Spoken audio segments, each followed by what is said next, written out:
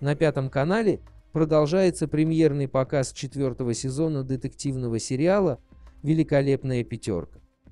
В сюжете с первой по четвертую серию, выход которых ожидается с 8 ноября, мы увидим, что убит программист Игорь Сиротин, однокашник Кузьмина. Компьютеры Игоря похищены, но дома у Кузьмина остался рюкзак одноклассника с жесткими дисками. Галина, мать убитого, подозревает Сергея Шишкина, бывшего мужа девушки Игоря Дианы.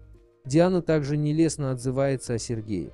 В результате погони со стрельбой Шишкина задерживают, он сознается в убийстве, но не Игоря. Вторая серия. Доктор Блэк. В гостиничном номере обнаружен труп Ивана Закутасова. Мужчина был отравлен. Он вел совместный бизнес с братом Кириллом. На следующий день Кирилла сбивает машина. В семье Ивана воспитывается больной приемный ребенок, за которым ухаживала няня. Няню находят убитой. Великолепной пятерке предстоит выяснить, кто же открыл безжалостную охоту на членов семьи Закутасовых. Третья серия. С небес на землю. Выстрелом в сердце из снайперской винтовки убит гид по крышам Игнат Горбунов. Стреляли из дома напротив, в котором жил потерпевший.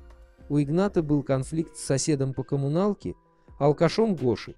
В комнате мертвецки пьяного Гоши находят снайперскую винтовку, но великолепная пятерка сомневается, что Гоша был в состоянии произвести такой точный выстрел. Четвертая серия. Убийство на берегу. Средь бела дня на берегу канала убит недавно освободившийся Виктор Антонов.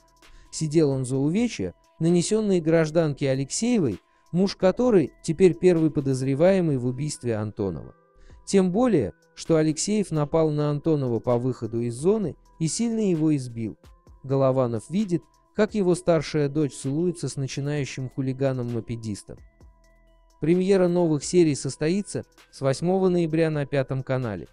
Приятного просмотра и не забудьте подписаться на наш канал.